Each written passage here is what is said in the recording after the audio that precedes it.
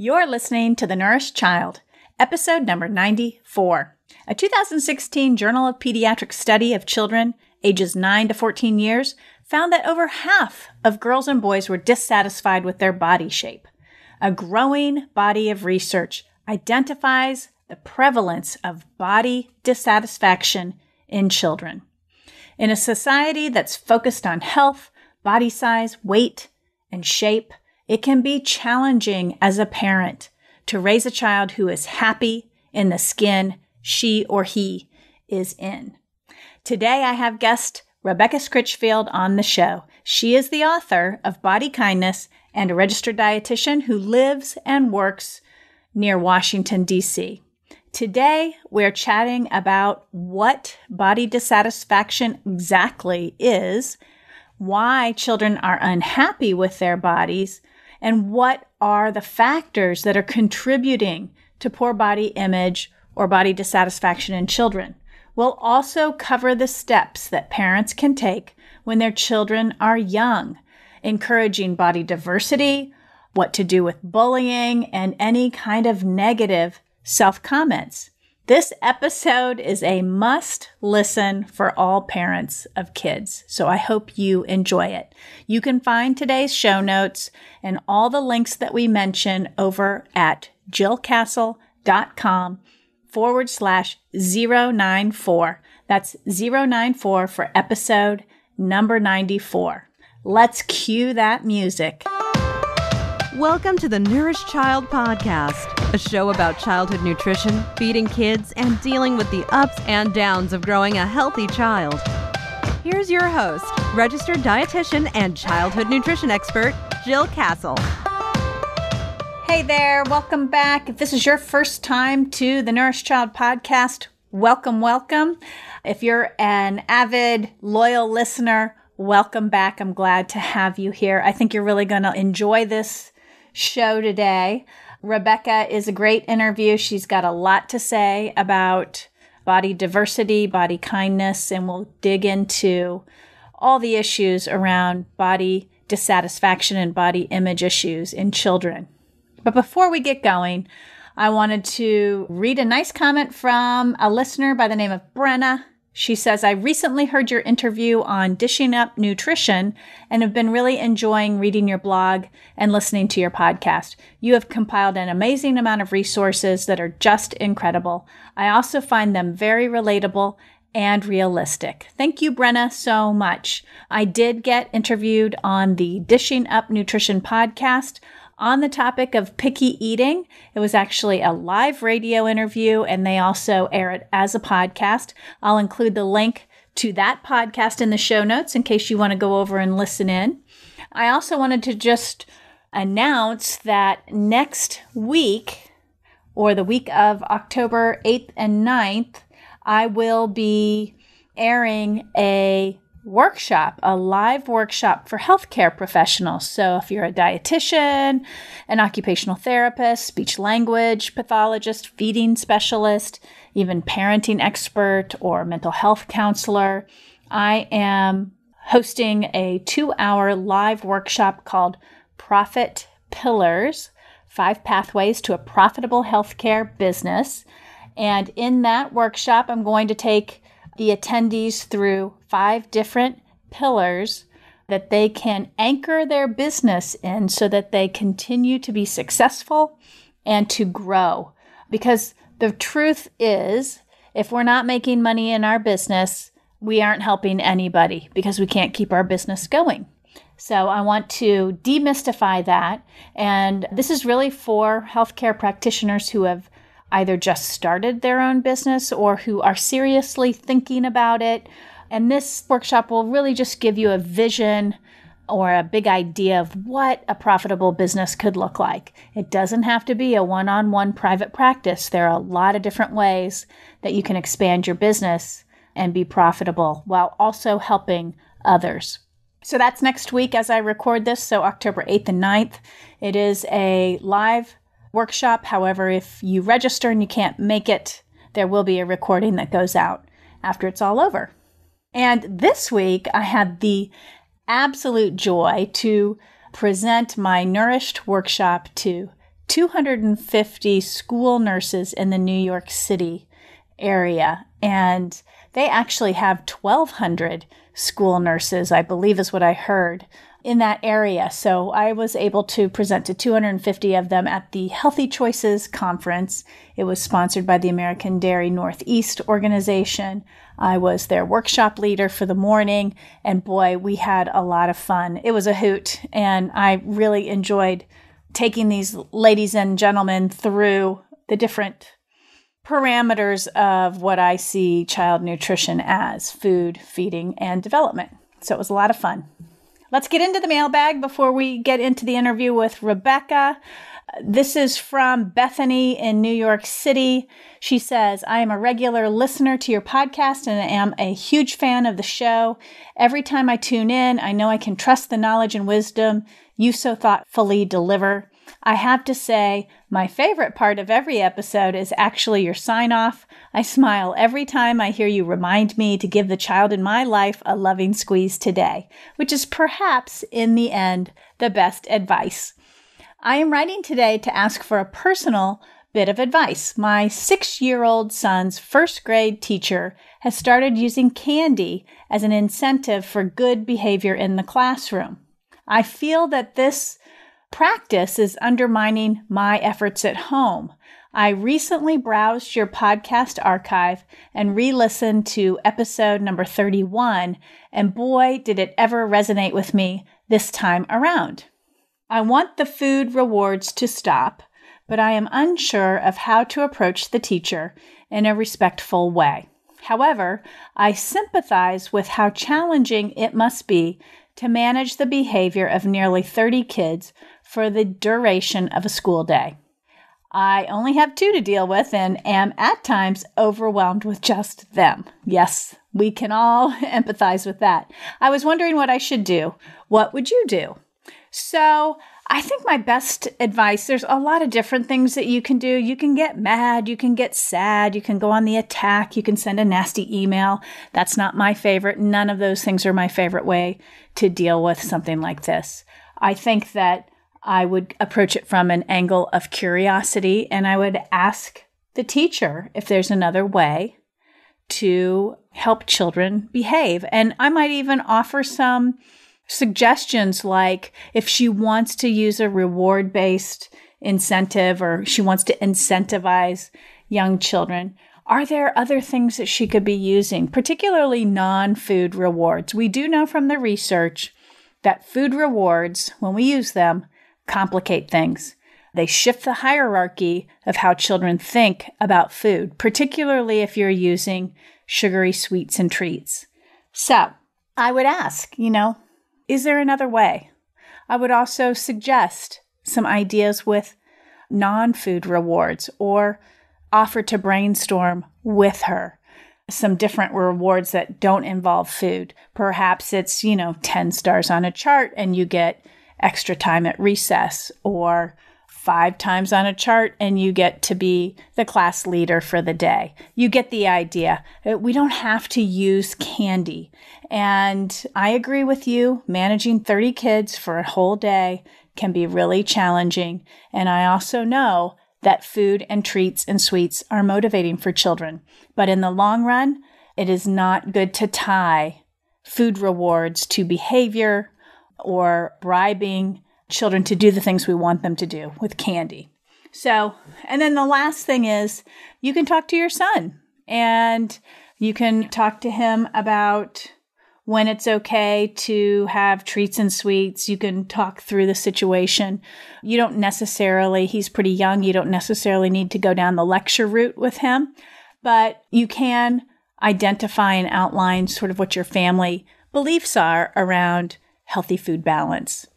And sweets and treats aren't bad. They sure taste great, but there is a time and place for them. And every day at school can get out of control. So I hope that helps, Bethany. Thank you so much for writing into the show. I invite any of you out there, if you do have questions like that, go ahead and send them along. I'll try and get to them on the show. I'm not so good at replying by email because it takes me a lot of time to type those answers out but I'm happy to pop them on the show and answer a question from the mailbag. So send them on in if you like. So today's show notes, you can get them at jillcastle.com forward slash 094 for episode 94. I'll have the links to that archive about sweets and treats in there, and I'll also have the Dishing Up Nutrition interview in there as well. So let me introduce to you Rebecca Scritchfield. You'll really enjoy this show. She's a treat. She's extremely passionate about her book, her topic, her expertise. She is a voice we need around this area. And I think that for some of you, your eyes will be wide open, like, wow, hadn't thought about this stuff before. Others of you might be familiar with her, so I know you'll enjoy listening to this interview. But Rebecca Scritchfield is a well being coach, registered dietitian nutritionist, ACSM certified exercise physiologist, and author of the book Body Kindness Transform Your Health from the Inside Out and Never Say Diet Again, which Publishers Weekly calls a rousing guide to better health, and the New York Times Book Review calls simple and true. Through her weight inclusive body kindness counseling practice, Rebecca helps people reject diets and body shame to create a better life with workable, interesting self care goals to fit individuals' needs and preferences not society's unrealistic weight and beauty standards. Rebecca has influenced millions through her writing, podcast, workshops, and appearances in over 100 media outlets, including NBC Nightly News, CNN, The Today Show, O Magazine, Real Simple Time, and many others.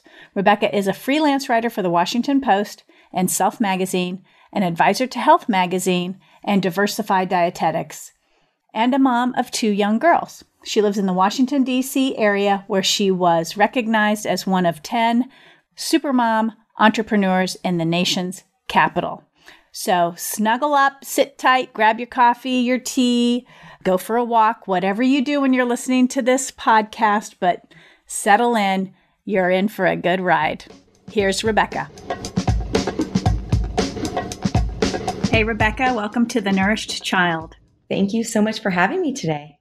I'm thrilled to have you on the show because we're going to talk about body kindness for kids. And we had an opportunity, or I had an opportunity to interview you for an article that I wrote, which I'm going to link into the show notes here. But it is such an important topic. And I know just you know, working with children and their parents, that this is a topic that parents get really uncomfortable with. So I want to unpack some of what is, you know, what's going on with body dissatisfaction in kids, how we can teach them to be more kind, and how parents can really help move the needle on acceptance of and body diversity and all of those things that we'll talk about. But before we get started, I always love to give my guests the opportunity to tell us about yourself and your journey to how you got into this work. Sure. Thank you so much. I'm really excited to have this conversation today. So, I am based in Washington, D.C. I have a private practice here where I really help people enhance their well being at any size. They can have any medical condition or an issue with chronic pain. And I want to help people with whatever is going on, help them create a better life. And so that means we're going to focus on the big picture of our well being of course, those things that we do to take good care of ourselves on a daily basis, whether it's what we eat or how we can move our bodies in meaningful ways, sleep, and all those things that you might think of. But even in the bigger picture of how we can grow our happiness in our relationships or find more meaning in our life, whether it's through volunteering or remembering that we're all humans. And part of what really makes our life beautiful and wonderful is through positive connections that we can have with one another. So they might say, I've got to do something about this weight, or I have, I've got one child who seems to always be hungry and one who is very active and I can't seem to get interested in, in foods. And so they'll bring these problems that you know that that are real and practical and important to resolve.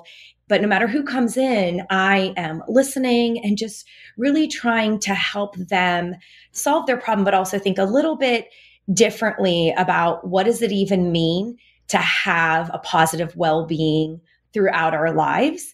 And i think that's really important because in our culture we can often think in silos like your health is determined by your appearance, or you can only be healthy if you eat all the vegetables or something like that. And so there's a lot of unlearning and relearning that we have to do. So I, I really take a lot of joy and pride in that. About half of my clients are kids and families.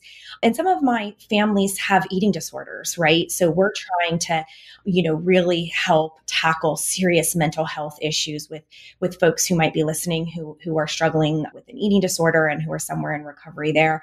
Know that you that you are not alone and big empathy to parents who are listening because often they'll wonder like did i cause this or did i did i do something wrong? And so i would want anyone to know look that parents don't cause eating issues in in their kids but we can absolutely be part of the solution for that. And just briefly on my own journey you know i feel like i'm a product of diet culture myself. So like most kids i tried my first diet before the age of 10 i really thought it was best intentions. It was like the thing you do to be healthy. And i played around with a lot of you know diets that i found in magazines which thankfully I don't think, you know, many kids read, although social media is just as as bad. but, you know, yeah. I just got all the, you know, good intentions, but really wrong messages about, you know, it was about lean legs and certain number of calories that, that were really actually inadequate for where I was in growth and development. And so I did struggle with my body image like most kids end up doing at some point in their teens. And I thought, you know, at the at, at the same time while I struggled with my body image, I also had this like passion for wow like your heart's going to be until one day it doesn't. Like that's amazing. What can i do to care for my heart? So i do think there was this element of truly deeply caring about health it was just the wording that i got for what that meant was twisted up in appearance and beauty. And so besides being a registered dietitian i also am a certified exercise physiologist. And so mm-hmm. you know i really want to help people with both of those components. And i think where it where i finally landed on body kindness was having this rock bottom moment where I realized I've tried all these different diets, even after becoming a dietitian, you know, I'll just admit that. I think that a lot of people think that when they're in the room with an expert, that they're in the room with someone who's never made a mistake, who's never mm, taken yeah. a wrong turn. Even as a dietitian, I was trying yeah. different diets. And ultimately, I realized that what I was doing was not helpful for myself or my clients. And and when I created the body kindness philosophy, it was it was really like I had one question on my whiteboard, which is what do I do if I'm never going to diet again? And mm-hmm. eventually the philosophy was born from there. Mm-hmm. And you said you hit rock bottom. What did that look like? So there were a lot, a lot of things that were going on. It for me personally, so I there was a time when I was doing marathons and ultra marathons and running actually helped me create an appreciation for my legs, which was the body part that I always bash. I mean, my inner critic would roar. I mean, from 10 plus look at your legs and, you know, just all the mean things you can imagine I said.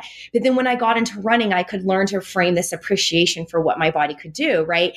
And then somehow I'd end up twisting it. Well, if I'm going to prove myself as a dietitian runner, I need to have a fast time. And and where did that even come from? At hindsight's 2020, but I decided very stupidly that I needed to drop some weight while I was marathon training. And so I was doing South Beach, which, if you know anything about it, it's like in the beginning, don't you dare eat fruit, you know, right, which is like right. runners for two weeks. exactly. exactly. You know, so, and again, I had the knowledge, like as a sports dietitian, that didn't matter. It was this emotional pull for my worthiness.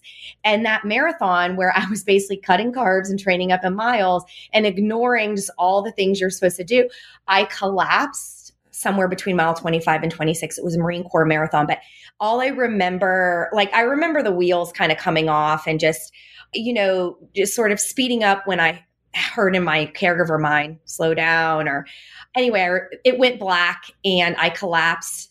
And I woke up in this ice bath very, you know, delirious at you know for example it was marine corps marathon so there's all these marine doctors surrounding me and my first words were are you guys interns i don't know why and you know they're like no ma'am we're doctors and and then someone's on the radio saying that they can't find my husband and i was like my husband's mm-hmm. right here and i'm pointing to this like male marine next to me and he's like ma'am i'm not your husband and it was it was funny because i remember them laughing but trying not to laugh but and anyway very seriously a doctor doctor said, you know, three runners saved your life.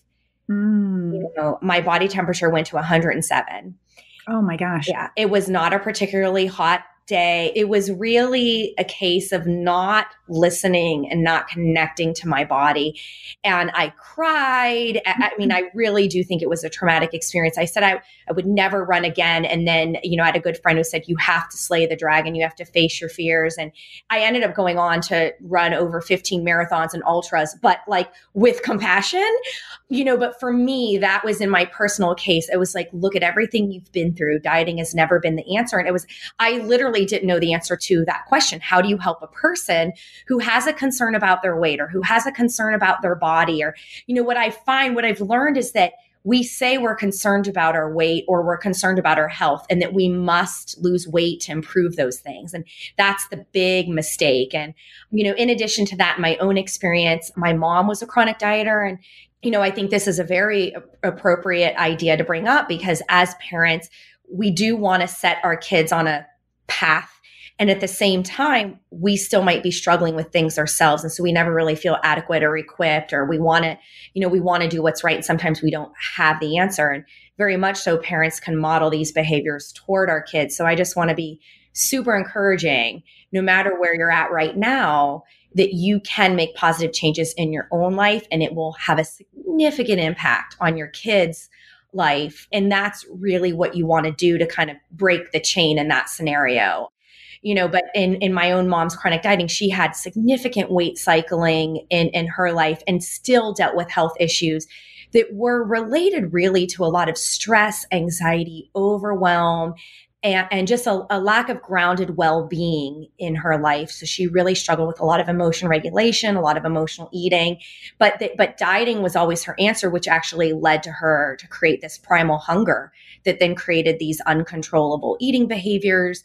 And so it, it, it was you know watching her health deteriorate and blaming the chronic dieting was big for me too. Was like she never had a solid foundation or a plan what do I do if I accepted my body as it was right now, but stayed committed to taking good care of it? And, you know, and this is even if you wish it looked different, right? Or even if you hope, you know, I, I think that's something that we should get into is that it's, it's not really about, oh, I can't do body kindness because I want to lose weight. It's, if you think about, of course, people want to have a rock and bod for the beach or they want to lose weight or you know like they have these mixed emotions of things because look at the messages we're given by our culture. So you know i really want to encourage people to say it, it's separate what you want from what you feel in your heart sounds like good self-care. And just by doing that you're already practicing body kindness without even knowing the philosophy or reading the book. Like you're already in the right direction there. Right, right. So, Rebecca, a growing body of researches has identified that you know body dissatisfaction in children is growing. Mm-hmm. There was one study in the Journal of Pediatrics of children, you know, school age to middle school, early teen years that found over half of the girls and the boys were dissatisfied with their body shape. So mm-hmm. let's unpack this a little bit. Mm-hmm. Like for the listeners out there, what is body dissatisfaction? mm-hmm. in a nutshell. Yeah. So it's when you make a judgment about your appearance, right? So it could be anything. I don't like my nose, you know, I don't like my face. It could be about the size or shape, you know, so specific to body fat, like I think my belly is too round or, you know, but essentially it's a judgment about something about your appearance. There are certain things that are developmentally appropriate, right? So like both of my kids the first time I heard them say the word fat, they were three. But it was it was very playful, right? They poked at their bellies and they poked at my belly and they're like, fat, fat, fat, fat. And so, you know, and of course, as you know, as a mom, I was just like, oh, I don't want them thinking anything bad about their bodies or anyone else's body. So, how do I help them for a three year old, you know, understand what I want them to believe about fat?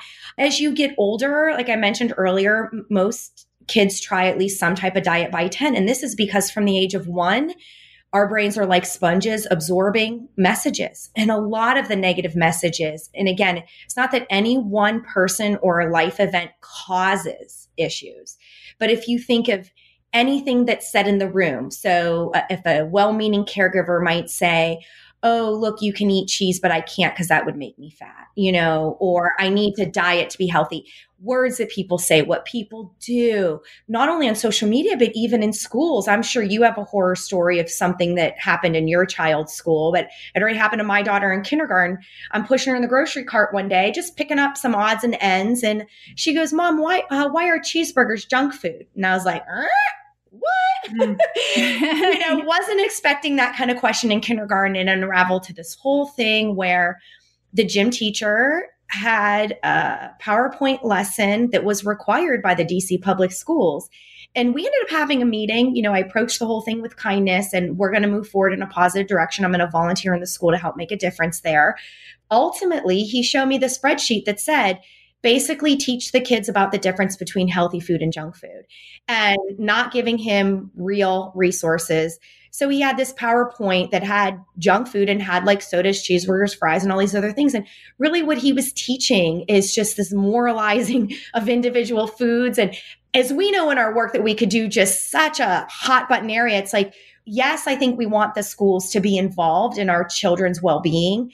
But I would question are we giving the right people the right resources based on evidence so that we really stop doing harm? And I'm always thinking about the highest weight kid in the classroom. If we're creating content that helps and supports the highest weight kid with the, or, you know, the child with the most body dissatisfaction, the most sensitive child, we're helping everyone else in between. So it's, how helpful are these BMI report cards that some schools still do? You know, is that really helpful to the families, regardless of what the states need to collect data? You know, I would even question do we even need to say that childhood obesity is a bad thing? Why are we labeling and pathologizing a child's growing body? And, you know, regardless of the health conversation, should we not look at every child, regardless of their weight, and help every child get access to delicious, affordable, and good for you foods on a regular basis, you know. So Yeah, yeah. And teaching them the healthy habits of living a healthy life, yeah. you know, what, whatever that looks like. Right, but, right, you know, right. Like moving- without the shame of, oh, I like chocolate milk over white milk. Oh, yeah. I need to be shamed. And maybe it's we can in a family help them work on, you know, I, I, just love the words healthy eating patterns because, mm-hmm. you know, like the word health and healthy eating doesn't bother me.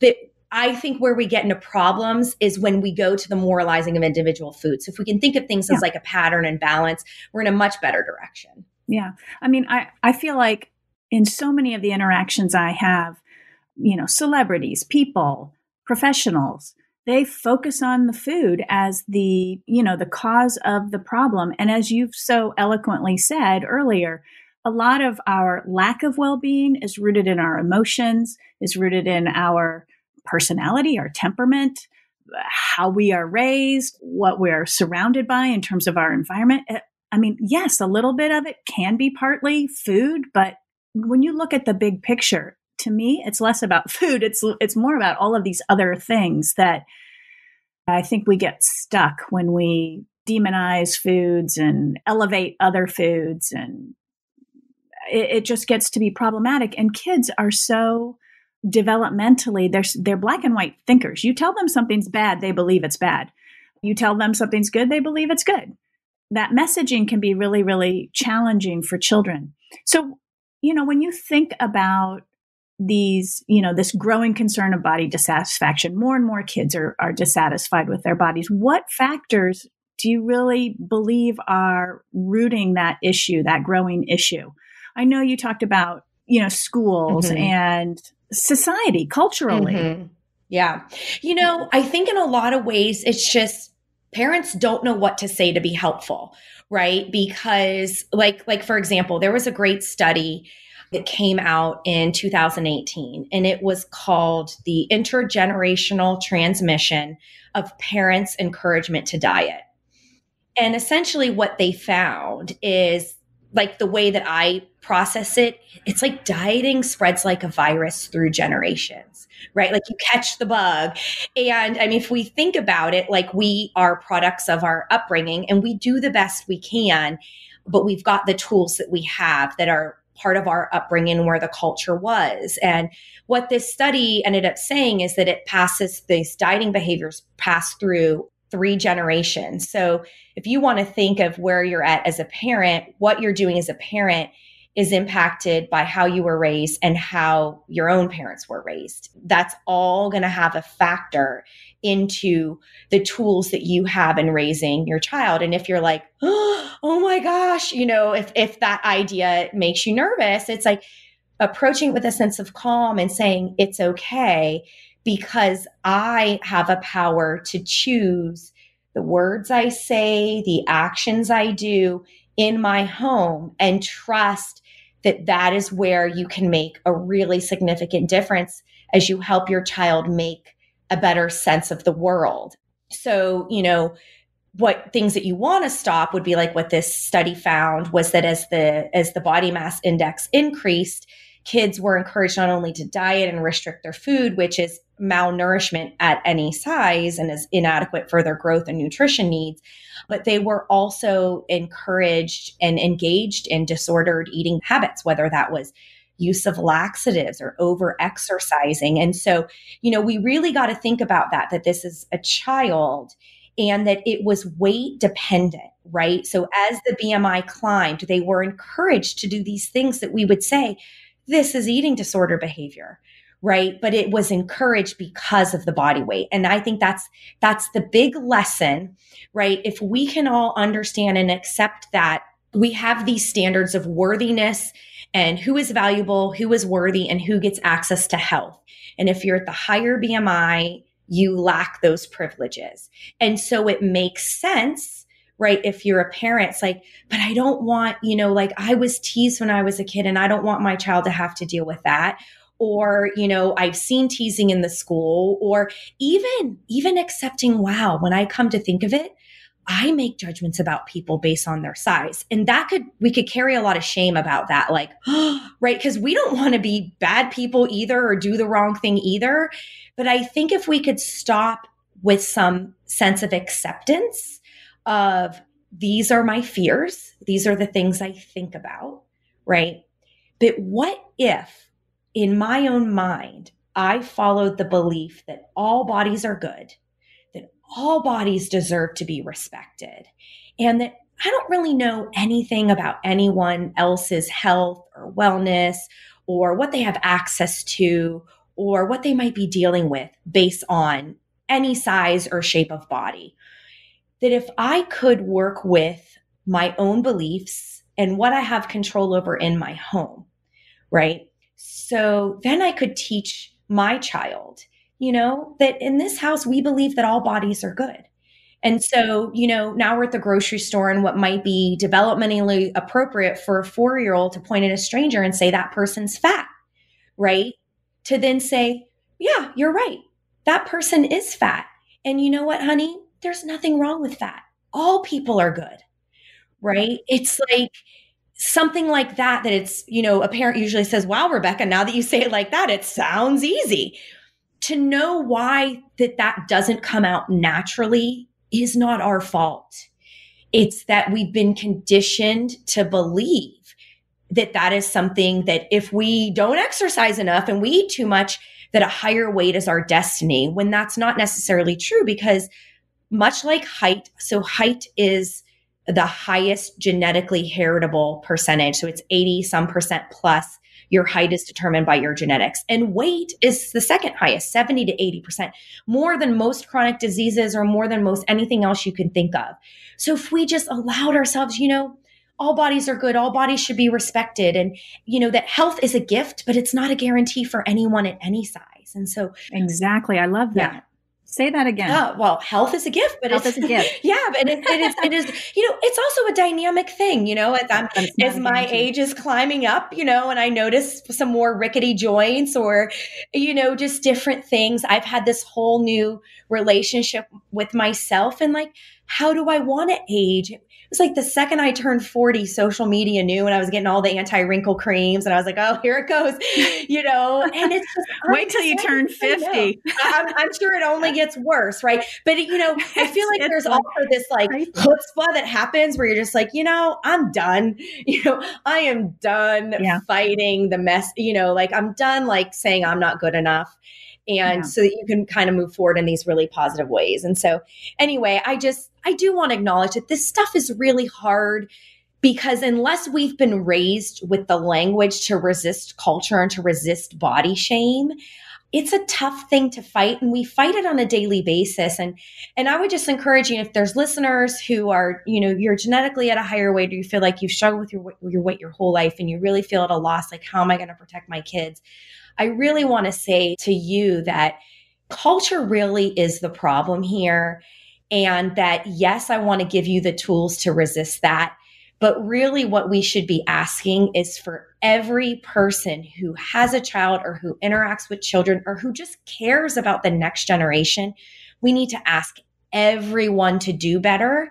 And that's going to include people who profit off of a hundred billion dollar plus a year dieting industry. You know, we have to Mhm. ask people to have a common humanity and in our homes and in our communities and in the products we buy, treat everyone with respect don't make judgments about people about their health or their worthiness what they put on their plates how much they exercise just don't judge.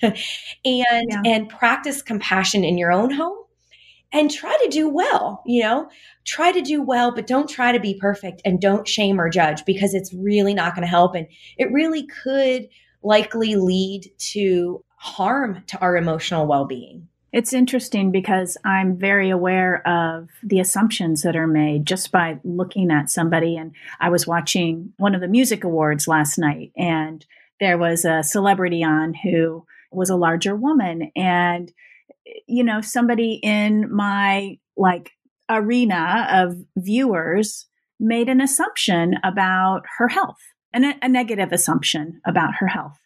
And it just strikes me as how easy and willing we are to judge a book by its cover. Mhm.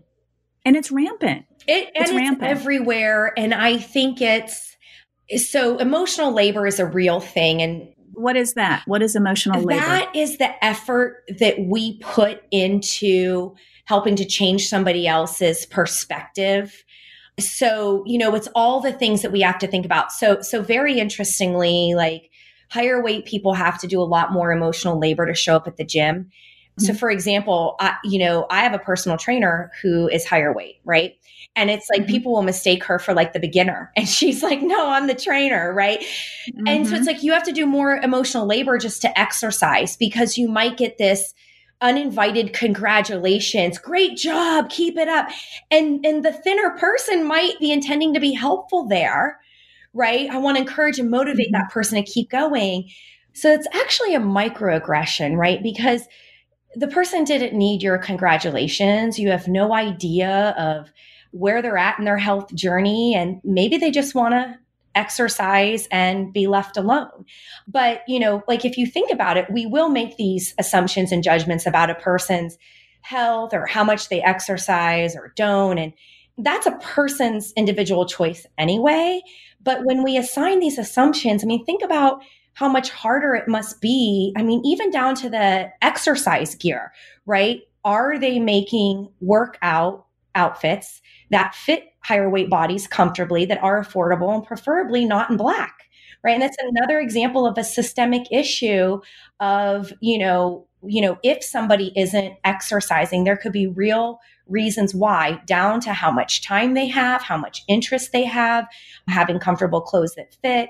So it really is just helping people who have more privilege understand that there could be a lot of different barriers, but also to have some compassion for when you have thin privilege you know, you don't have to think about, am I going to fit in the airplane seat? Is anybody going to mock me when I'm exercising today? Am I going to go to the doctor and are they going to shame me, even though I have been making strides in my eating patterns and I feel good? Is it good enough so I don't get a lecture? And this is all extra emotional labor that you have to do when you're at a higher weight. So when I when I was talking about that, you know, I was talking about this idea of how we can choose to say something. You know, you could decide, hey, do I have the emotional labor to say something? And if I do, what should I say? And and I want to encourage more people to say something because it's usually our fear, we let it go. But when we do, we miss an opportunity to kind of shift that culture forward. You can say something as simple as, you know, I don't think we can really know what her health and wellness is like. I really appreciate the quality of her voice, and she was very entertaining. So it could just be a gentle challenge to the that bash or shame. And I tend to take a a kind approach. But there's nothing wrong with a little bit of anger. Like if you feel angry about it, just say, you know what? I really think that what you're saying is unhelpful. And maybe this would be more likely if we're kind of coming to defense of our child or something like that, where I don't want to say, oh, you must be nice in order to do some emotional labor. Like sometimes a little bit of anger is warranted as well. But, you know, I would encourage listeners, like when you see something that just doesn't sound right, you know, if you think like either your personal feelings are hurt or your child's feelings are hurt, or like, you know, I suspect that this is a shaming judgment that is really unhelpful.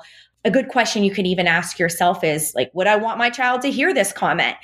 Not that you always have to respond, but I think we let a lot of stuff fly under the radar without a response. And what it has to do with is we're we're afraid to be vulnerable because we don't we don't want to, you know, get into a fight with somebody or create problems or be seen as like the rebel rouser. But as, you know, one of my favorites, Brene Brown would say, is like, you've got to be in the arena, you know, right. like that is how you create real change. So, well, for the record, I did say, I don't think we can make an assumption about this person's health. Mm-hmm.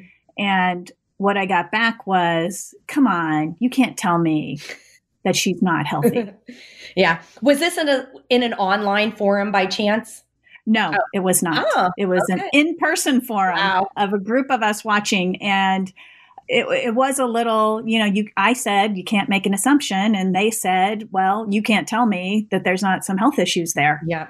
Well, and, and then what I I feel it, like it was really I, like that that clashing and I think a lot of people experience that. Mm-hmm. It's hard, isn't it? Like because yes, that hurts. It's hard. You know, it, it, it, like hurts your own feelings too. I mean, I feel- well, it's like I wanted to say, you do you. Like, why are you so worried about somebody else's body? Mm-hmm. Well, psychological science would say that it's because they're dealing with their own insecurities. And so, in social comparison theory, we have the tendency to compare up or compare down. So she might be comparing up because here's this famous singer who probably got into all the parties and is making money, you know, and so in that comparison up, you feel inadequate. And so if I can say something that helps me feel better, then that's what I need to do. So I think you're right with the you do you comment. I also love, you know, hey, we can agree to disagree, but if you ever want to really talk about health and weight, I'm happy to share information with you. And I think that's another great thing to do is like have conversations about possible future conversations. Because I'm sure mm-hmm. people are like, hey, I'm just trying to watch some awards and eat some popcorn here. you know, can you guys stop fighting? And so I get that, yeah. right? But you know yeah. it's it's just a really it is so deeply embedded but that's where i like acceptance right if we can mm-hmm. accept that culture isn't perfect and and we're humans and you know that that there's these deep standards that come with health and wellness that are just deeply rooted i think that what we could say is look you know i'm waking up today I'm a parent who is just trying to do the best she can with what she has. How can I learn and grow? What can I do for my child to help foster compassion and resilience and love and kindness? Just these, these values that we really care about. And when we're doing that, we've got to include things like what we're talking about, which is appearance privilege. And it starts as soon as you can, right? The second my three year old mentioned fat in a fun and playful way, I just smile and say, Oh, you're noticing your belly and mommy's belly. And they said squish, squish. And, you know, it's like, yeah. I love your belly. I love mine too. And honey, there's nothing wrong with fat. And it was it was not the time to whip out the PowerPoint for 3. It was just a little thing that was really more for me right then when the question about cheeseburgers you know i you know i said honey if mom and dad gives it to you you can trust that you know that it's good and that's not what we do in this house about individual foods you know but it was interesting the next morning i gave her one of her favorites which is yogurt with and i put some chocolate chips on it and it's like a plain yogurt. Sometimes I put mix a little bit of plain and vanilla, you know, but she likes she loves chocolate everything. Throw some chocolate chips in there. She pushed it away. And uh, she goes, Yeah, the teacher said that chocolate was a junk food too.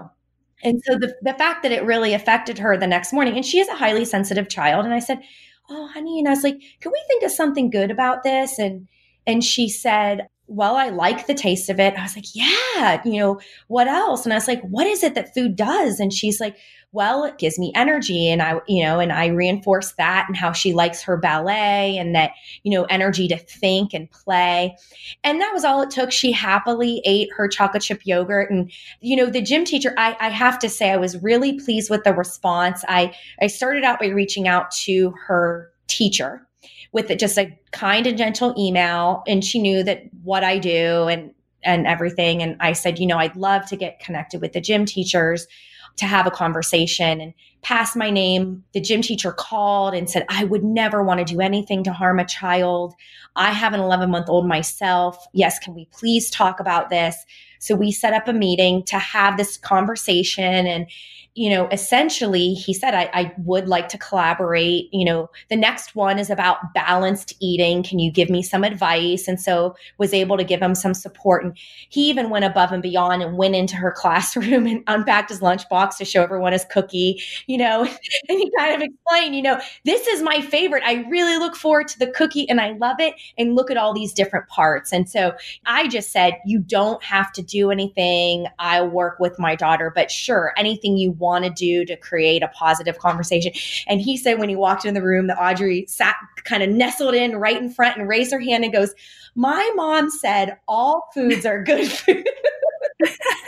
That's perfect. you know, and and and we'll have these stories. We hear stories about how the dentist comes in and be like, "Sugar rots your teeth, kids," like to three or four year olds. And so, you know, I kind of take this phrase. It's like the feeling we get is like, "Oh, please don't screw up my kid you know? And and that that that is a real thing as i'm sure your listeners are you know they care about health and well-being and they are thinking about nutrition you know but they also want to you know what do we do about chips and cookies and all these other things in like reasonable ways. As you're figuring this out for your family you're going to run into things in culture that you feel like are problematic. Back to that emotional labor piece you can stop and think do I have the energy? Is this the right person who I think with some education and boundaries will make a meaningful difference in the relationship with my child and in my child's life? You know, it's not about you'll exhaust yourself if you think that you're going to figure out how to put goop out of business. Like mm-hmm. you will exhaust yeah. yourself. So you yeah. really want to just think, you know, like let your own family values evolve try to get clear on how you feel good about how you're doing it in your house. And you, you just day to day, you do the best you can with what you have with this kindness and compassion, flexible and healthy eating patterns that is really away from good or bad foods, really away from body shaming or making judgments.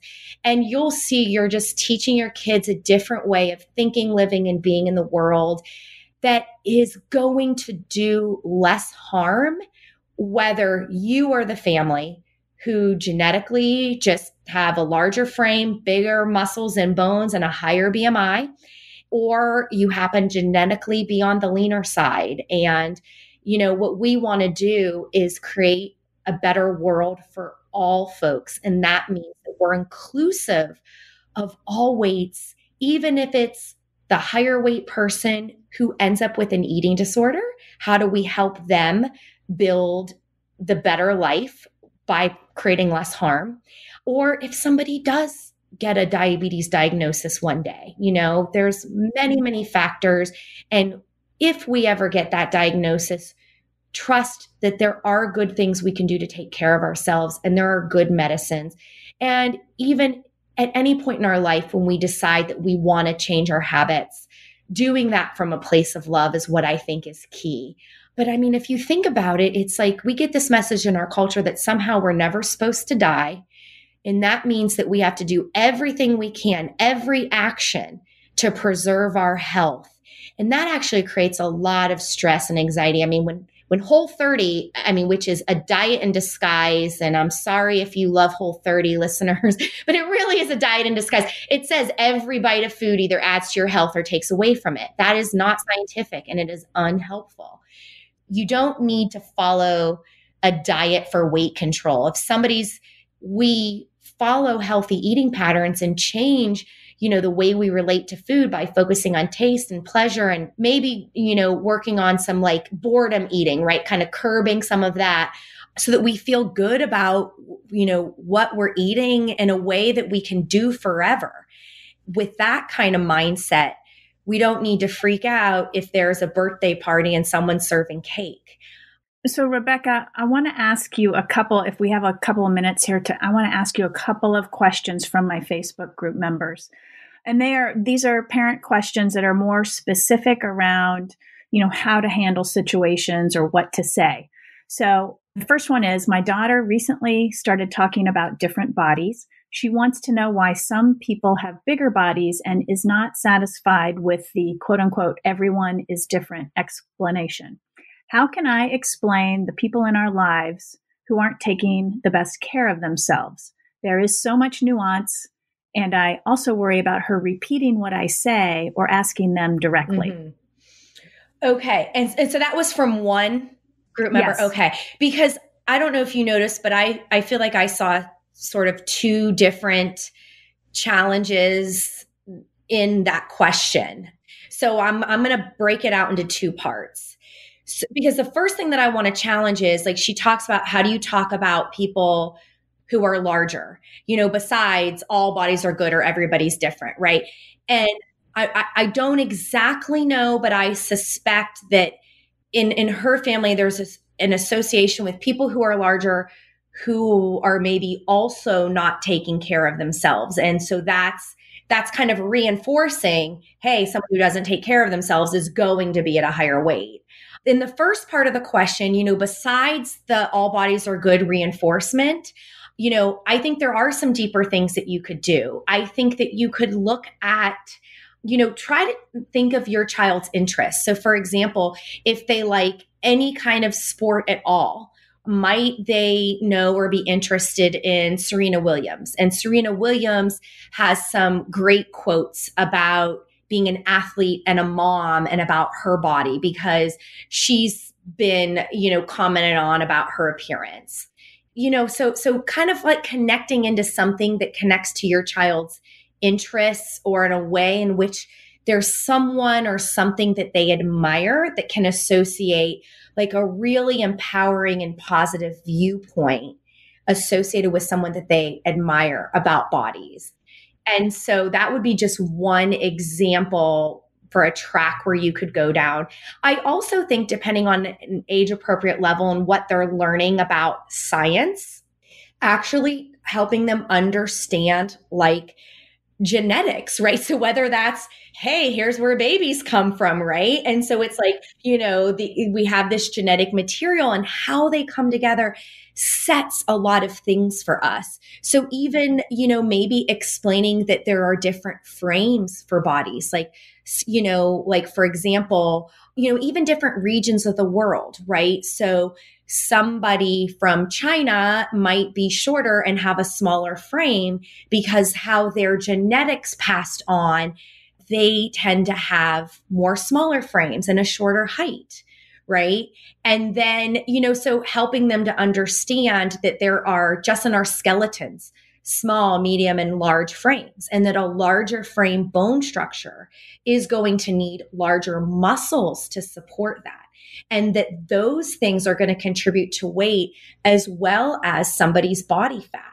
And, it, you know, so again, tackle that at the different age appropriate levels, but it's just, it's more detail than the brush off like all bodies are good. And look, I think we should be really honest too and say, you know, it's up to individuals to make the choices that work for them in their lives. And so it's most important that we think about what helps make our life better as a person and in our family.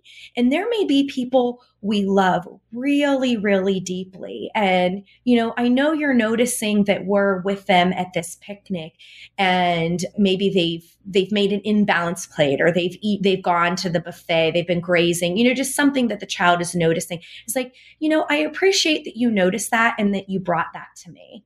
You know, I, what I want to say to you is that it's important that we take care of ourselves and that this family member, that we love them no matter what you know, and that that person is in charge of their body, how hungry they are, the choices they make.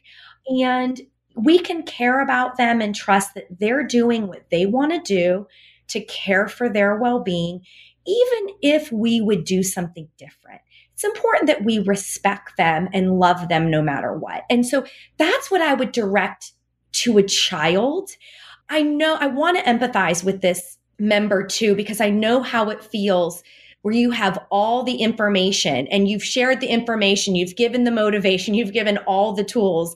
And yet, this person who you love deeply, who you wish you could just magically wave a wand and boom, they'd have a different mindset and different set of habits. The reality of it is, is you can never do that no matter how badly you want. And so instead, what you want to do is change how you relate to this person and how you feel about their behaviors and actions and choices. You might separately, if you care deeply for the emotional labor, have a conversation and say, you know, I know some things about health and wellness that really help me in my life. And I just want you to know if you ever have questions, if you think I might be able to help in any way, you know, no, no judgment at all. I'm, I'm happy to share what I know or what I think or help point you to some resources. And, and that is the furthest I would take it because the second you dive in with you should and whatever's, trust me, people have heard it before. And that shame, you end up creating a shame spiral for them, which makes it even less likely that they have any sort of internal motivation to trust that you have information or resources for them or trust that they should put effort into their own changes. It's kind of like let people live. Even if you deeply feel that they're not exercising and they're not eating right, even if you feel angry by that, let them live, you know? Yeah, good. Let them live. Question number two What can I say to others who are commenting on my daughter's body? I know I can't shelter her from these comments mm-hmm. forever. Mm-hmm. Should I talk to her about it? Mm-hmm. So, anyone, so if you're in the room and someone is making a comment on your daughter's body, whether or not your daughter is around, for me, my tip is that's like a hard stop. You know, that's a hard stop and a firm boundary. I don't care. It could be the president or I don't know, the, the queen, whoever, you know, your your idol or someone you really don't want to hurt. You know, you can say, look, we do not comment on other people's bodies. And I'm going to have to ask you to never say anything about my daughter's body ever again. You know, and just keep it simple. But it is a firm, hard stop. We don't do that here. You know, you might get some pushback. In that case, and any type of pushback, this is where I would delay the conversation. And I would just say, I'm happy to talk to you more about it at another time and place but we're going to walk away now and we can discuss this later and just get out of the situation. If your daughter happens to be around in that comment, I would just take a minute and say, "Hey, let's go let's go talk for a second. And you know, say it's really important in our family that we do not comment on appearances and this is something that I wanted to make sure that the person who made a mistake knew about. I'll make sure that we settle things out later, but I just want to check in with you. Are you okay? How do you feel right now? And just because it may be that, again, right then and there is not the right time or place to go into a deep processing of, but I think that if they're around and something happens, it just kind of taken a step back, you know, oh no, mom, you know, I am okay. And be like, all right, well, I would like to talk about this at another time. And that way, first of all, you get some time to actually think about what you want to say and what you want to do, but it allows you to just kind of feel something that was jarring, take a deep breath. It's going to be okay. Jump into action. Know that your child has some amount of resilience to it and can move on and socialize and have fun. And then when you have the time for one on one conversation, because, and again, it will, how deep you go depends on age, but because daughter was mentioned, I mean, we're talking feminism, sexism, culture, you know, what it means to be a girl and woman, you know, like can be part there's of a lot. conversation. Exactly. Yeah, there's a lot there. Well, and I also, I really like that you are saying that parents can just put the hard stop right there. Like, I, I want to tell, you know, listeners out there, don't be afraid to say that's not okay. And I don't want to hear any more about that. You know, we don't do this a hard stop, it is okay to let the big mama bear come out and just say, we're not doing this. Thanks. But no yeah. Thanks. And you know, somehow, sometimes the quick hard stop is also the best because it lets them know immediately that there's a problem. And the reality is they might get hurt by that. But by putting in the hard stop, and even, you know, like I said, you might get a pushback. We'll talk later. We're going to walk away now right? That, that what that does, it also does help to mitigate that person's shame spiral because it like in my mind, right? I'm like, how could you ever? And don't you know eating disorders and body image and you suck, right? Like in my mind, I am like yelling at the person. And at the same time, if I'm in this social situation, I also don't want to be the kind of person who does that. So the firm hard stop, we don't do that you know? And not that you need to run away at first, but we don't do that. Don't ever do this again. And if any kind of response back, hopefully you get a I'm sorry and that's okay. We can talk about it later. Then maybe you don't need to walk away. But if they kind of give this why, oh, I didn't mean it. I wasn't serious. It was a joke. None of that crap matters. They did it. It was an offensive problem that needs to get addressed just at a later date. And I also have this phrase that helps people is like, is this a post it person? So if you had a post it and you had to write the names of people who mattered, if that person was a post it person, then I would say definitely at some point you're going to need to set some firm boundaries of do's and don'ts, or else we don't have a relationship here. But, you know, I mean, I've been there at those social parties and something comes out of someone's mouth and you're like, really? And what you really learned is like, yep, you're not going to become a friend and I'm going to really, um, you know, I'm not going to play date with you.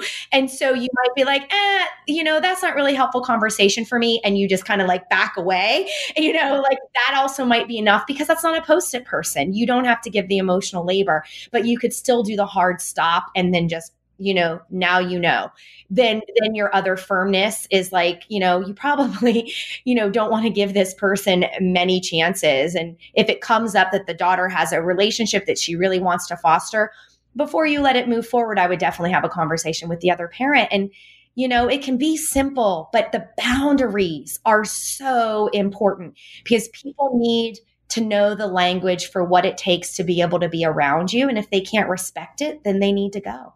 What can you say when your child says negative comments about their own body? Mm-hmm. Yeah.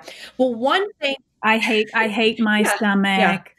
You know, my arms are so fat what what does a parent say when their child says that about their own body? So one thing that really sucks about this is as the parent, there's almost nothing that you could say that's really going to make a difference cuz oh you have to say that you're my mom, you know. So again, I would take it back to some things are unfortunately like developmentally kind of appropriate, especially around puberty and your body is changing. That social comparison, kids do compare themselves there's a normal stage of child development, really from like 11 on, where kids are unraveling from their parents in that sort of I want to cuddle with you all the time way. And they're really trying to find their own groups. And so you want your child to find social groups where they feel they can fit in. You know, you would be more worried if they did not have a social group. But whatever social group, like I was in a Mean Girls social group for sure, right? And that social group is going to have an influence, or they might you know, I did a lot of comparing to my friends. If you're lucky enough that your child verbalized a body dissatisfaction to you, because understand that they're going to be dissatisfied. Some of it is just developmentally appropriate where they're doing this comparison. If you're lucky to hear it or witness it, you might say something like, you know, I heard you say this comment and I want to let you know that of course I'm your mom and you're you expect me to hear that I love you no matter what. And that is true. But what I really want you to take away from this is that it's less about having that negative thought come through, you know, a judgment about about your appearance. It's it's understandable that you might have a negative thought, but I'd like you to think about how is this helpful? You know, how does that thought help me show up for my friends, show up for my schoolwork, show up for my activities that I care about? Because you're at an age now where you really can stop and think if this thought doesn't help me feel happy or loved or have more joy, that, then I don't need to respond to that. I can just notice it and kind of let it go. And and so that is like that would be an amazing feat if you could accomplish that. So where you just kind of jump in and say, "Yeah, yeah, yeah, I know that you think that I'm supposed to say this and yes, that's true because I do believe I love you no matter what." And at the same time, this is what I want you to challenge. And so what that does is it separates the, you know, say like the most kind of ideal body conforming parents from jumping into the the worst trap which is you're not fat and you're not this because it doesn't matter how you see them. It matters how they see themselves. And also when you're in the more you know mainstream thin conforming group and you say you're not fat you continue to marginalize the fat kids you know that the daughter may have a higher weight friend who you know and so that's just why you just don't even want to go there and instead it's like when you see that response it's like that works for the parents who who know that their child is following their growth curve and who is just on the larger side no matter what their habits are you know you've done your work in helping them build healthy eating patterns and preferences, but like they still got to be able to go out and have pizza or fast food with their friends, right? And when you, as you do your job with that, you still encourage activity, and it's like their size is their size, right? You want to help them if they're having a bad body moment about their belly. Say, you know what? Yep, we're going on this trip, or you're going with your friends on this camp, and there's going to be pool or beach I want to help you feel as comfortable as you can. You know, let me know what you need and and provide the resources for like, you know, a comfortable fitting swimsuit and and know like, hey, like you might feel uncomfortable in certain situations and and that's okay to feel uncomfortable.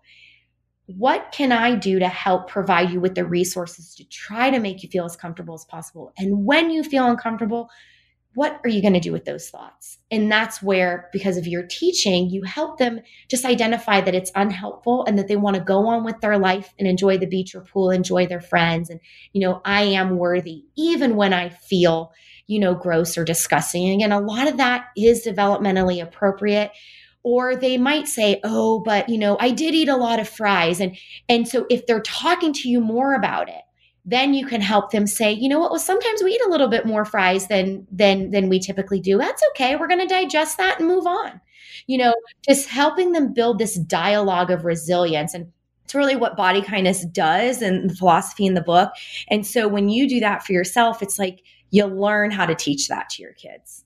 That's a really it's a great note to end on. It's a wonderful philosophy and I think you know, this has been so helpful in terms of just understanding sort of the typical things that children will go through because a lot of this is sort of typical developmental stuff and and having the phrases and the approaches to handle those as parents without feeling like it's going to be a pathological path to you know something terrible down the road that that some of this is just normal and and how you handle it really can matter quite a bit to your child so very helpful. Tell us quickly about body kindness and how and where people can connect with you, Rebecca. Sure. So if you go to bodykindnessbook.com, there is a free kind of get started mini course that you can do. So I highly recommend that. And then the book is available wherever you get your books and audiobooks and everything like that. So I'd love for you to check that out. And I'm just so grateful for the time and the conversation today. And I'm really grateful for the listeners who are just hearing something new and are like, you know, I think I might try try things a little bit differently. Like that is the most important thing that you're learning and growing and that you stay fully committed to enhancing your own well-being and the well-being of the people in your family. That is what is truly going to help everyone create a better life. It's not about being perfect because no human is. It's about trying to do a little bit better and feel a little bit better about the way we move and live and exist in the world. Rebecca, what does it mean to you to be nourished? Mm, I think what it means to me is that even when it's really, really hard, that I can take my hands and put them on my heart and say, it's okay. Because that, in my hardest moment, to be able to connect and say, it's okay, that's how I trust that the next moment and the next step and the next choice and the next action will lead to it becoming okay.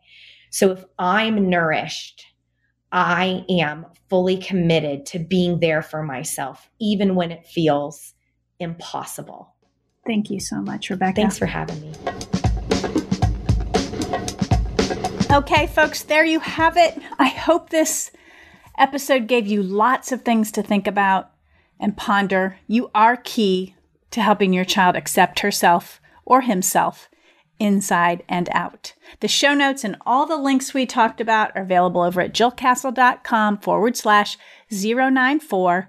Head on over to iTunes to rate, review, leave a comment about this podcast. If you have a scenario, a question, or some insight you want to share, go ahead and comment on the podcast show notes over at jillcastle.com forward slash 094 or snag me on Facebook, Instagram, or email me. I'll do my best to reply.